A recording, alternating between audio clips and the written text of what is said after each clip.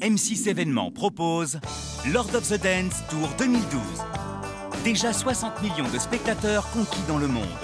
La troupe de Michael Flatley est de retour avec un nouveau spectacle.